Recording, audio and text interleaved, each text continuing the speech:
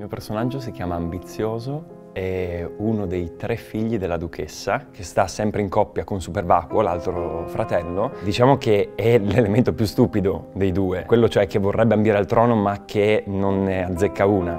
Il fuoco del lavoro penso sia lavorare su una presenza costante nello stare in scena. E lui ci ha detto subito, io dirigo nel senso che metto nella direzione più opportuna qualcosa che però deve essere già in movimento per conto suo. La cosa bellissima secondo me del lavoro con lui, ma ho anche dei suoi libri, è come riesca a parlarti di teatro ma nello stesso tempo a fare subito uno switch su un piano più, più alto, umano e di vita.